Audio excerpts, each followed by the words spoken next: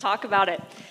So, I definitely recognize uh, some faces in the audience, but for those of you that I don't know, my name is Brittany. I am an instructor and tech lead at Turing School. And if I don't have a chance to meet you before the end of the conference, you can find me on GitHub at Brittany Storoz or Twitter or pretty much anywhere on the internet. Okay? So today I want to talk about the nightmare that is error handling and error messages and what we can learn from the pretty minor mistakes that we make and the terrible error messages that we receive in return. Okay? So this talk is mostly going to be me complaining at you, but I'm going to assume as developers that we're all cool with that, okay? So since I've been teaching, uh, I've had a lot of students that are coming from very different backgrounds with very different skill sets. So as they're going through the program, certain students are really excelling in certain areas of programming and struggling in others, and vice versa. But over the past couple of months, I've really noticed uh, a handful of common and per pervasive technical hurdles that really hamper the learning process for students. So a lot of times new developers have a hard time wrapping their head around things like abstraction and modularity. Sometimes things seem like a big black box of magic.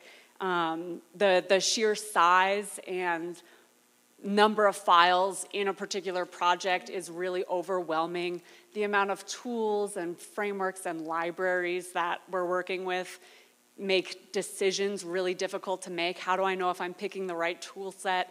for the application that I'm building. Obviously, we've always had a problem with writing good documentation, so when people try to go read the docs, sometimes they're just not there for you, okay? So there's a lot of different technical hurdles for, for new developers in programming, but today I want to focus on error handling. Earlier this week, I was speaking on a panel at Denver Startup Week um, about navigating the path from being a junior developer to a senior developer.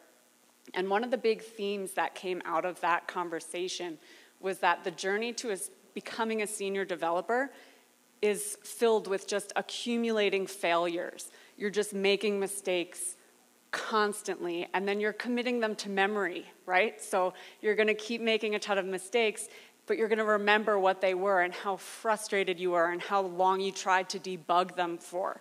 Okay? And then when you see them again in the future, you're going to be able to fix them a lot faster. You're going to recognize them. And when you see other people struggling with them, you're going to be able to help them as well. Okay?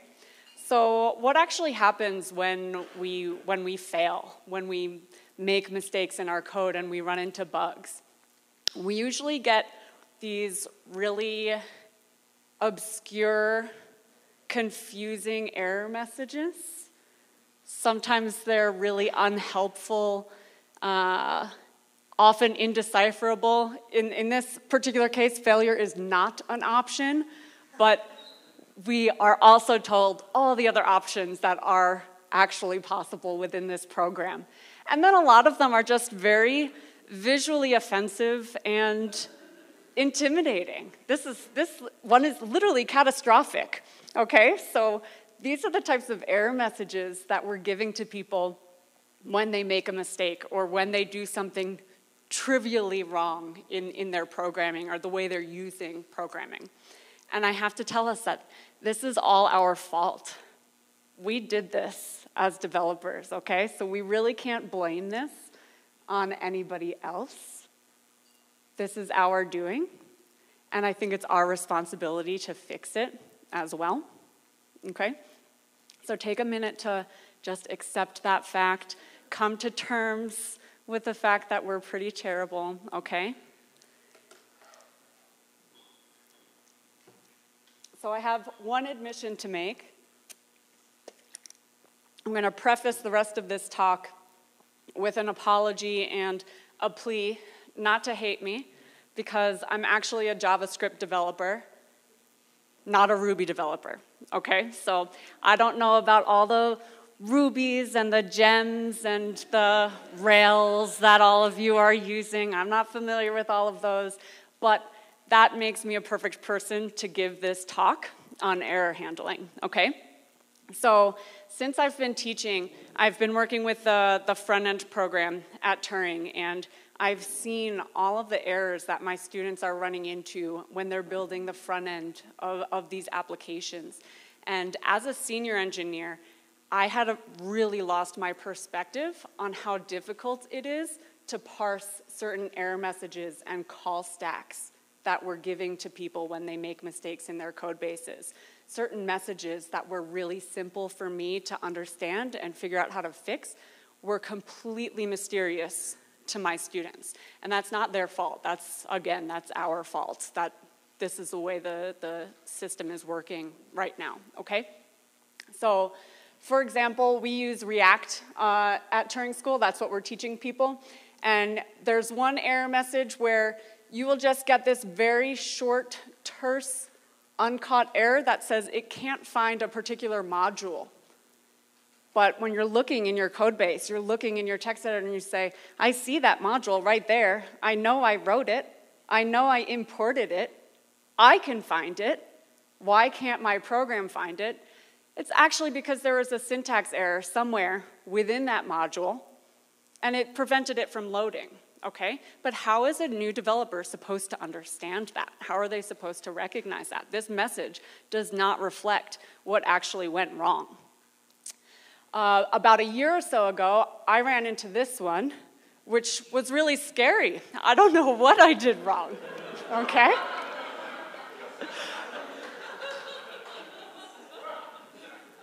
I believe it was something with a, a fetch request um, to an API endpoint for JSON data.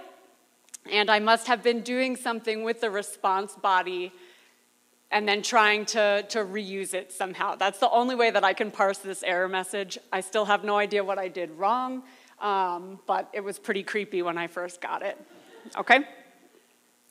And then one of the more recent ones that uh, we ran into, one of my students ran into this actually, and this is the one that sparked me to, to really pay attention to error handling and, and make me want to do something about it.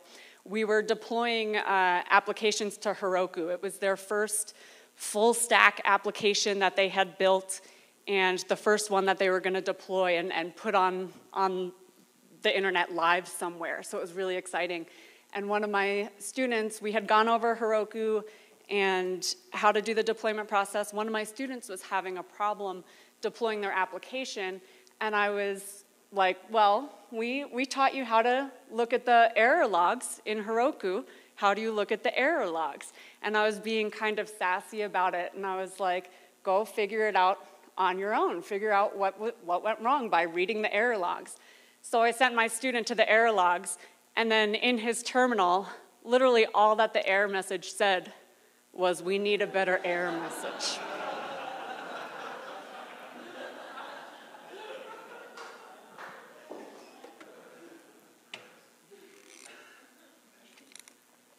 So I actually remember feeling personally embarrassed by this. I had nothing to do with the libraries that we were using, the tech stack. I did not write that error message, but I, I was embarrassed that we have been tolerating this as, uh, as an industry, as a culture. Um, and the fact that I had sent one of my students to go look at these logs that I would have assumed would have been reliable and then they weren't. They were absolutely, completely useless. So that's what really sparked me to, to want to think about the error handling culture in JavaScript as a whole and why it was so broken. And I was really aggressively um, excited about the idea of trying to fix all the places that it was broken in JavaScript. So as I was starting this talk, my I, I kind of went into it with a hypothesis that this can't be the same in all these other languages. No one else will tolerate this. It has to be a JavaScript specific cultural, cultural thing, okay? So You're working with another language, another framework, another library, and no one would put up with error messages that are this bad, right? So that's the hypothesis I was working with initially, and I figured I would test it out by trying to build a uh, application with Ruby on Rails. And I had used Rails in the past, a couple years back, um, when I was working at the New York Times, maybe in 2013. I had a hard time with it because I was a much younger developer than. Um, they had a lot of applications that were in different versions of Rails. So some of them were in Rails, I think, 2, and some were in Rails 3, and I believe that's when there was a big jump between the different versions. Someone can correct me if I'm wrong.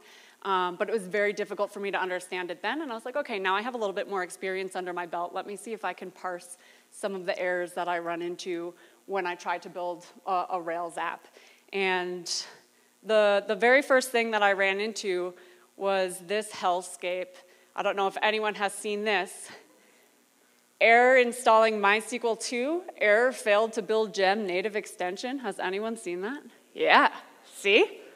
Okay, so I spent a couple hours going down this rabbit hole.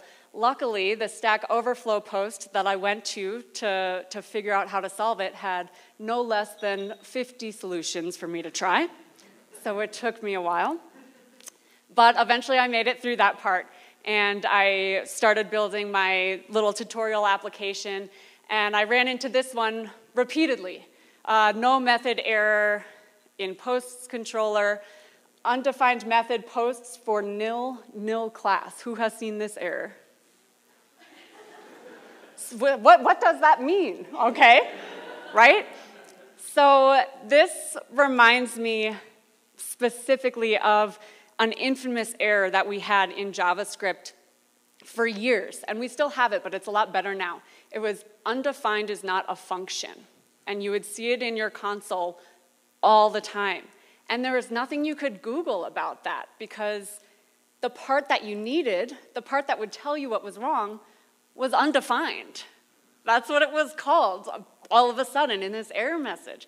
So, how do you Google something like that? How do you search for something like that? Um, luckily, the, the browser implementers, uh, the Chrome developers, recognized this as a huge pain point for new JavaScript developers trying to parse what that meant and they actually fixed that. So now you'll get the name of the function that you were actually trying to call that was undefined, which is great. So this error reminded me a lot of that. And as a junior developer coming into this, one thing that I see a lot with new, new developers is that figuring out how to Google things is actually really hard. And if I'm a junior developer and I look at this error message, the part that I'm going to really latch onto is this keyword posts right here, because that's what I wrote. That is specific to my code. So it must mean that something is wrong with posts. And when I Google that, I'm probably going to copy and paste that whole error message in. Nothing's going to show up because not everyone is making an application that has posts associated with it, right? And it doesn't necessarily actually mean that that's where the error is in my program. Posts might be perfectly fine. It might be the thing right before posts that's broken, this current user that I have here, okay? So it's really hard to tell what's going wrong in, with an error message like this, okay? The last one that I ran into was no implicit conversion of string into integer. If anyone is familiar with JavaScript, our nice dynamically typed language, we can convert data types into whatever we want. They will just change out from under us on the fly, and it's great. We don't get any errors about it. We'll maybe get some weird bugs in our code, but that's fine. We don't care. okay? So I, I, I remember specifically when I was running into this problem, it was very difficult for me to understand where I was trying to convert a string into an integer. I wasn't doing that. It didn't seem like that was an explicit thing that I was attempting to do. What actually wound up happening was I was um, trying to grab an item from a, an array with bracket notation that was using a string instead of an integer for the index. And it was trying to convert that data type.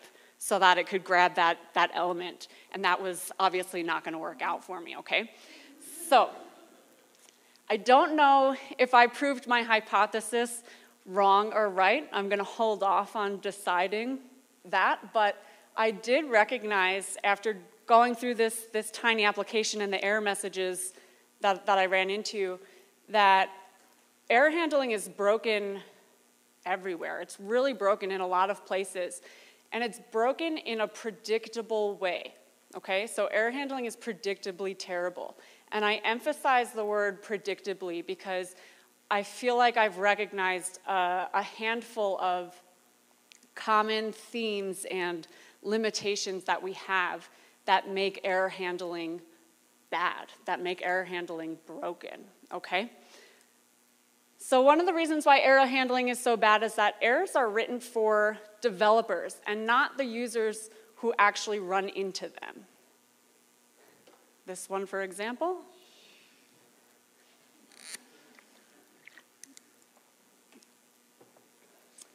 So, when I talk about users, yes, I'm talking about users of the application in the traditional sense, people that are your average web browsers. They're not looking into dev tools to see what, what went wrong. They're just going to sit there confused if your form doesn't submit and they don't know what to do, okay? But I'm also talking about users that are developers and they're working with a new library or new framework or new language. So these developers that are using your tool set, using whatever library or framework that you open sourced for other people to use, they're coming into your application using that in theirs, and now those are your users, and those are the people that you have to be writing error messages for because they need to know exactly what's going wrong. And we lose this perspective. When you are a maintainer of an open source application or you are the writer of a spec for a language, you have such advanced knowledge of that topic that other people don't have. Anyone coming in to use your work is coming in as a junior. I don't care how many years of experience they have as developers, the first time you use a library, you are a junior in that library, okay? So as we get more advanced with the technologies that we're building, the code bases are getting a lot more complex, but so are the error messages because you're assuming that everyone is on the same page as you and they're not. Your audience is always going to have junior developers coming into there. So you need to focus on your error messages at that level rather than saying, This makes sense to me as a maintainer, I would know what went wrong with this. I would be able to help someone if they ran into this. But that doesn't that puts more work on you and it doesn't mean anything to the new people coming into your to, to use your work. Okay? Another reason is that programs can only understand so much about intent. So I know we are a little bit scared of like AI taking over and getting really smart and worried about stuff like that, but I think programs are still very unintelligent. Okay? Programs only know so much about what a developer is actually trying to do, and that's all that programs can speak to when they throw a new error message. So, this error that I ran into, uh, sorry, this might be a little bit tiny, but this is a syntax error. It says syntax error, unexpected token, less than sign, in JSON at position zero. Has anyone seen this before? Uh, okay, a bunch of people. So this is a scenario where you're doing, maybe you're doing a fetch request and you're expecting JSON, so you're trying to do like JSON parse, or you're doing something assuming that your response that came back from that fetch request is JSON, and it's not.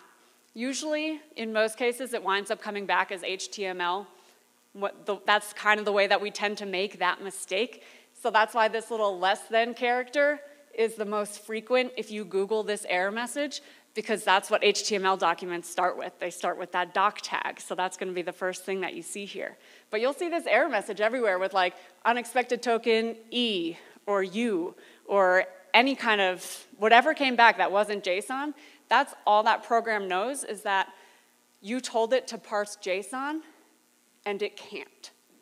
it doesn't realize that you had a content type mismatch.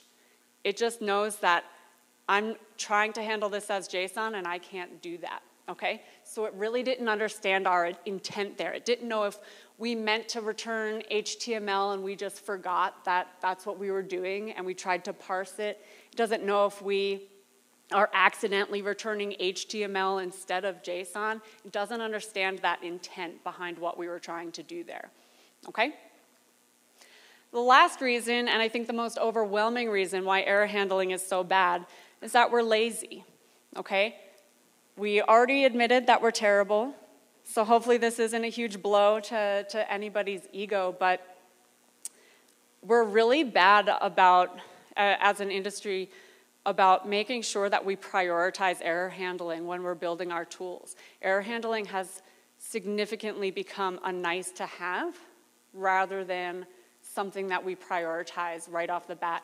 And I think that's really unfortunate and really sad because it just shows how little we're willing to do in order to make a welcoming environment for new developers, because this is such a big barrier, getting these really cryptic error messages. So I did a really quick search on GitHub for the keywords better error, okay? And I wound up with almost a million issues related to better error messages and better error handling. A lot of them were closed, which is nice, maybe a good sign, unless they're all just labeled won't fix. Okay? So, but, but the fact that all these issues were filed, I think, is already a sign that that was a secondary concern because people wanted to ship their code, get everything open source, and then they're like, oh, by the way, let's file issues to make better error handling later. Issues are something that you file so that you can take care of it later. That's how I interpret that. Um, I highlighted this. This is probably a little tiny too, but I was going to use these numbers as part of my hypothesis, but then I didn't realize how, I wasn't sure how to interpret them. But when you search for better error, JavaScript has 135,000 issues with some sort of label around better error handling compared to Ruby's 44,000, I believe. It's almost three times the amount. So at first I thought, uh, yeah, JavaScript is terrible. Like we just don't write any of our error messages and we, we don't prioritize this. Clearly our ecosystem is a lot sloppier than, than Ruby's. But then I decided to think of it as we care more and we're more thoughtful about it. And we're filing issues because we want to make all of these things better. So that's how I'm going to interpret it. You can all interpret it however you'd like as Ruby developers. Okay? So we mentioned that error, the, you know, the problems with error handling are predictable. And as developers, we have a tendency to find and build solutions around predictable errors. Predictable errors are, or problems are the best types of problems to run into as developers because that means they're solvable. That means there's a pattern to them, and that means there's ways that we can fix these things, okay? So, fixing error handling, I have a couple of ideas. The first one is self correcting errors and awareness of intent. So self-correcting errors, we're already doing a little bit of this. This is um, just output of using Rubocop to do autocorrect. So you can use a flag on Rubocop that just says dash dash autocorrect, and it will automatically fix all of your linting errors. We have the same thing in JavaScript with, with ESLint. Okay? So that's really useful for these little like code sanitation things maybe they're, they're doing this static code analysis and they're saying, okay, you probably didn't intend to, to create this whole block of unreachable code or to put this line terminator here. Let's try to fix these things for you, and that's what it'll do. I don't know about all of you, but I'm kind of at my limit for how much I will allow a program to automatically mutate my code for me. So I think this is as far as I feel comfortable going with programs like that. But I think this concept of awareness of intent, making our programs better able to predict what it is that you're trying to do and offer up recommendations based on that would be super helpful. the other, earlier this week, I was talking with a developer at Google who works on V8, their, their JavaScript engine, and he was saying one of their goals is when you have a, say you have a variable that's undefined, and you have a ton of other, your, your code is broken, that's totally fine, this thing is undefined, but we notice that you're using a variable that has a very similar name all throughout the rest of your code base, did you perhaps fat finger this variable in this particular instance? And is that why your code is broken? So that's something that they're working towards being able to do. Do this additional static code analysis to say, okay, we see this variable all over your code base, and now it just looks slightly different over here, and this is the only place it looks different. Maybe that's the source of your problem. Okay? So a little bit more around um, the, the code analysis that we can do, I think would allow our programs to have a little bit more awareness about what we're trying to intend to do as developers. Okay? Piggybacking off of that is community support and resources. So when I ran into that MySQL issue, there were, like I said, there were like 50 solutions on that, that Stack Overflow question. We have all of these answers to these bugs on places like Stack Overflow. People on Twitter will be answering questions like this.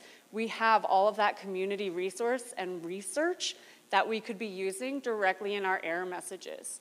So one of my favorite examples of really good error handling, which I'm not even sure if it counts, is in Chrome's developer tools. Um, in the audits panel, I'm not sure if that has made it down to stable yet. I know it's in Canary, but in the audits panel, you can run all these checks on your application around best practices and performance, um, accessibility. And whenever you have an error in one of those areas, whenever you have a failure in one of those areas, not only will it tell you how you failed, but it gives you a link to learn more about that error. So, what is this error? Why is it important? And how do I solve it? So it will link you directly to the docs right in the error message and say, follow these, this guide, follow these instructions, and you'll probably be able to fix this. Okay? I think as developers, we have a tendency to want to make things very terse and very concise with our programming, but error messages are not the place to do that. I think we could afford to be a bit more verbose with the error messages that we're creating and give these additional resources and recommendations of places that users might be able to find answers or solutions a little bit more easily rather than having them go Google it. So as as you you get more experienced when you're developing, yeah, Googling issues becomes a much easier task. You kind of figure out what it is that you need to Google, what parts to leave out and what parts to put in, and maybe what keywords to add. But that is a skill that is a skill that you developed over time, and it's very easy to forget that. It's very easy to forget that. It is hard to know what to Google when you run into a particular error message, and I think a lot of people lose that perspective. So when we have these vague errors, it's really hard for people to figure out where to go from there, how to understand that, read that, and where to search. Okay? The last thing is writing error messages for our users and not just ourselves. So this one is really important because, like I was mentioning earlier, I think my, my clicker died. There we go. When, no matter how many years of experience you have, we're all juniors when we are learning a new language or tool. You have some skills under your belt that will translate, concepts and patterns that will be familiar, but we're all juniors when we're going into these new code bases and learning these new languages. So the audience that you're writing for really needs to be focused on that lower bar. Uh, yesterday, I was at a TC39 meeting where uh, implementers and developers of JavaScript are actually working on the, the specification, the ECMAScript spec. And every new proposal that came up, people were constantly discussing what is this going to look like and do to newcomers to new developers to JavaScript. Is this syntax too confusing? Is it too hard for them to understand? Does it not fit with our traditional understanding of how JavaScript works and behaves? And that was very frequently a reason why proposals would get shut down because every person in that room was taking into consideration that there are constantly new developers learning JavaScript for the first time, and we need to make it easy for them to figure out how to do that. Okay? So I think that that bar of prioritizing your junior audience is super important. I know we had a, a theme about trust throughout this whole conference, so I want to tie that in a little bit um, b- before I'm done. And just remind everyone that building trust is a lot in part of how you're going to support your users.